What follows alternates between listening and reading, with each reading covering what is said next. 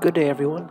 Today we're taking a look at an unrated part called Spies from the Shadow, and we'll be looking at situations that it can be used in moments where it is not needed. This is a great perk for beginners of the game or a killer that just has a limited selection of perks that they had just unlocked. But without further ado, let's go ahead and take a look at what Spies of the Shadow exactly does. Why it has some uses. First of all, to start off, the crows found in the trial grounds can communicate with you directly. Crows, startled by survivors within 20, 28, and 36 meters, use a loud noise notification, as seen in the video. First off, something that you don't want to be using this perk for is during mid-chase. You have plenty of ways to chase a survivor while you're in chase. You can see the blood trail, scratch marks, and what the Spies of the Shadow really does for you is if you lose them in a chase or you're not chasing anyone, so in an instance where they're just running across a map and you see them go one way, they'll eventually hit a crow as they're sprinting. And with this being an unrated perk and not used as much, people people and like the survivors aren't really prepared for it, so they'll just run haphazardly through it and not really give it much attention. So this this is a great information perk, and honestly, probably better than uh, some perks that help you start off with knowing what you have. Because, like I said, at the beginning of the game, people are just going to sprint to the closest generator or sprint to the other side of the possibly past you, but if they do that, they're automatically going to alert a crow to your location as long as we're within, if we're within that 36 meter mark. A lot of times, what this this perk will be even better in an open map, just because there's more avenues that a player can go to avoid the killer. So, in that respect, definitely would suggest using this over an outdoor map than an indoor map. But nonetheless, this is still a great perk just for the knowledge of which way a, survivor is running. So we're able to just not have to play a mind game we already know which direction she's going to be ultimately going. Where is this body at? My goodness. I feel like I'm spending more time on this finding this body than anything else. Yep, Check for. Now that took way too much time to find that, but the crows, and it's gonna give it directly away from where they're at. Like, I already know they're gonna head up here just because the scratch mark along with the crow. So it's an additional piece of information that really just helps you know where you need to be after that initial head start.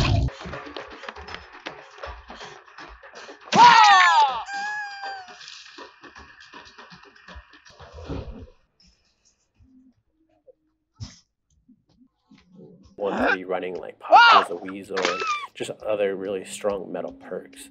And no one wants to always be playing meta perks. People want to try unique options out. And this is one of the ones I enjoy the most when it comes to just being able to track uh, survivors even better. And yeah, so that's one of the main benefits of this build. You're going to find survivors more often each time they progress and they're being punished for doing well. They finish a gen, Spies from the Shadow, and we know exactly which direction they're going to go from there. So yeah, let's go ahead and see how the rest of this game goes right now. I'm not sure what they're triggering up there, but oh, there she is. Definitely going the wrong that way. Is she go? Yeah, she went up. Okay. And just like that, we know she went down.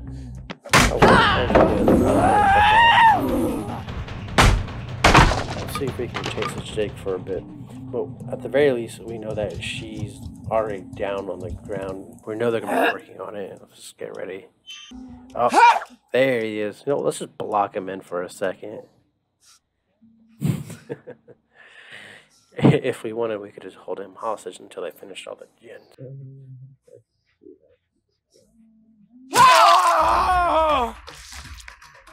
I just love getting those situations though. Let's see. Let's get him on a hook now. What? Ah. And so, you're not always going to get it uh, the crow perk, mainly just because it, it requires survivors to be more cautious if they're running. And oh look, another one, just hiding in the bathroom stall. Should I let you out or should I let you in? I don't know. You know, fine. Get on out of here. What you can do also is um, wait about 15 seconds and then just smack them once they get comfortable. And that usually give you a chance to get a follow up attack. Or they'll ah! just quit and give up. We're not really playing that fun. We're testing out Spies of the Shadow. You know, I always mix this name up with like Spies of the Crow or Spies of the Shadow. Spies from the Shadow. Let's rotate over to her real quick. I'm sure someone's around in this area right now. Get this damaged. He's got to be around here somewhere. Just. Ah! And that's really why this perk is so underrated. You just get so many situations where you don't know where they're coming from, but you know they're going to a certain objective. But with this perk, the main usage is you know which avenue of approach they're going to take. And she got me good at that decisive strike. But let's see if I can hit this hatchet throw. Bang! Alright, alright. Get her back on this hook real quick. Got to it, getting that generator halfway. So generally keep going back to it and hoping to be able to get it finished. And this should get it right here.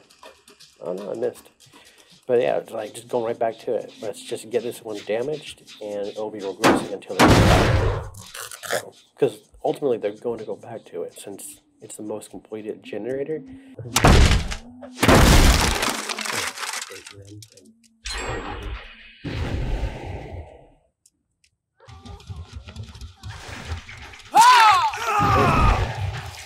You know, she's just running headlong that way. We'll get him right here.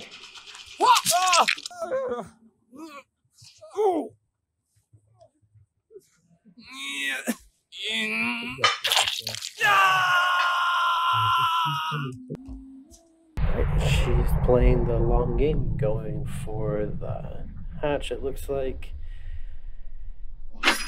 Right, let's get this closed. Bang.